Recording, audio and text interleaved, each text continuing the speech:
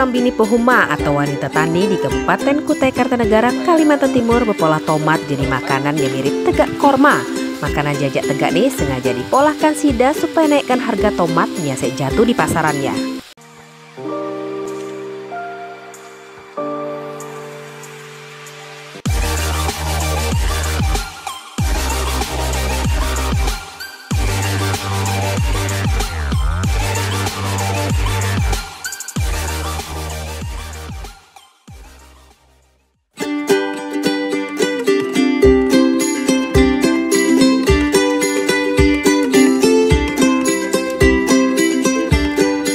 Kabupaten Kutai Kartanegara, Provinsi Kalimantan Timur berempu beribu hektaran rondong oda bekebon.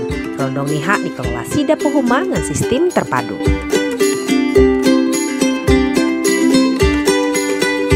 Mandiknya tumahanya ditanami Sida bubuhan Pohuma di juga tanamannya lain jua. Di pinggir rondongnya masih ada tersedia. Ini berupa sayuran nihak yang ditanami oleh bubuhannya. Tegak sida orang desa Sebulu Modern, Kabupaten Kutai Kartanegara, nyoba tanaman sayuran jenis tomat selain tanaman utama sida tegak jagong dan cabai. Tapi harga tomat mandi sepedas harga cabenya di pasaran. Tapi ada jua mendatangnya harga cabenya nih bujur-bujur turun sama sampai bebuangan maha dan mandi bisa dipapai lagi cabenya.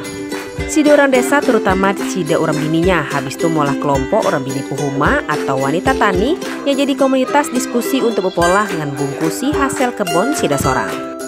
Di hasil diskusi itu hak muncul inisiatif bepola hasil kebun jadi makanan polahan dengan nilai ekonomis terlebih tinggi. Salah satunya ya hak bepolah korma tomat. Tomatnya baru diputik, dibersihkan habis itu diteboi supaya dikerucut pas dipolahnya ke dia. Habis itu tomat direndam sejaman dengan air kapur. Direndam dengan kapur supaya tomat mandi cepat lemah dengan hancur pas dimasak ikan dia.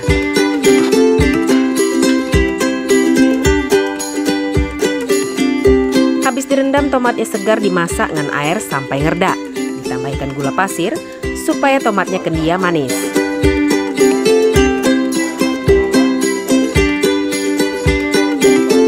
Perebusan dipolah sampai airnya habis dengan tomat jadi berkerut tegak korma. Sebuting buah tomat menghasilkan sebuting korma tomat.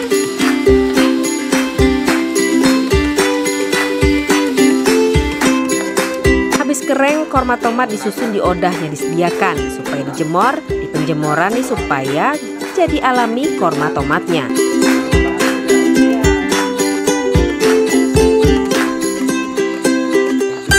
Penjemuran dengan pakai sinar matahari dipolah di odahnya steril atau bersih. Rawan orang bini di desa nih sengaja molah odah pengerengan tomat supaya lebih tertutup supaya mandi ada binatang atau juara rotoknya namai.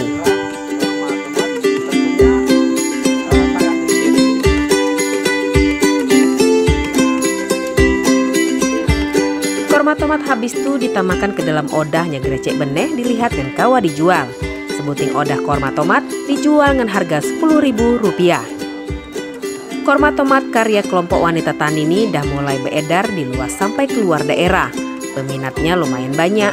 Kreasi Sida bubuhan emek-emek nih jadi cara supaya ngantisipasi lamun harga tomat turun di pasarannya.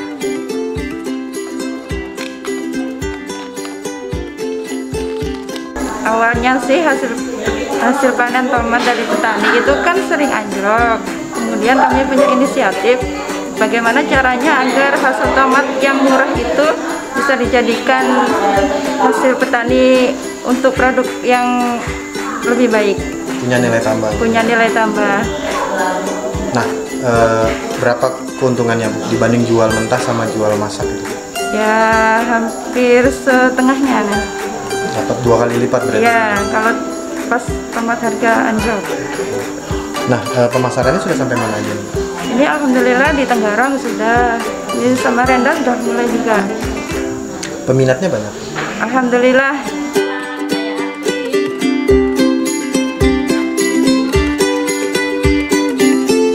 Emek-emeknya tergabung di kelompok wanita tani karya bersama nih juga berempu banyak produk polahan selain korma tomat. Produk-produk ini berbahan baku hasil kebun sida masing-masing. Kebanyakan produk sida nih ia hak tegak minuman instan sampai ke makanannya dah siap dimakan.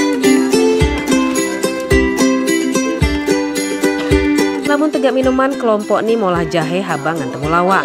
Minumannya berbahan dasar tanaman herbal ni siap minum dan ditinggal dituangikan air panas mahal lagi. Makanannya lain mandi kalah menariknya ia hak keropok jengkol. Keropok jengkol dipolah dari jengkol jadi pola jadi keropok siap dimakan. Selain makai media sosial, kerowan emek-emek di desa ini juga ada berhasil masarkan di macam toko di beberapa kota Kalimantan Timur. Karena adanya komunitas kerowan emek rumah tangga ini bisa nulungi ekonomi keluarga menambahkan wawasan soal pola produk, pembungkusan sampai ke penjualannya. Dapat ide bikin itu dari mana? Ya, apa kan sering jalan-jalan tuh jadi ada ide pingin buat sendiri. Kenapa akhirnya mau bikin produk olahan kebun? Ya buat apa kerjaan di rumah kan buat sampingan. Selain uh, kerjaan utamanya apa? Tanam sayur di kebun. Nah, ada, ada ada dampaknya nggak dengan produk olahan ini terhadap perekonomian rumah tangga? Ya bisa nambah perekonomian apa perekonomian bisa apa bisa buat tambahan belanja.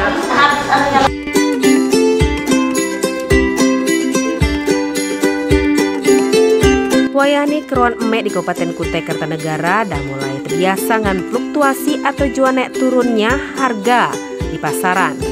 Hasil kebun masing-masing mandi lagi dijual murah pas harga turun benih. Dengan kerjasama berkreasi, bermacam produk olahan berhasil dipolah dengan sanggup diserap pasar.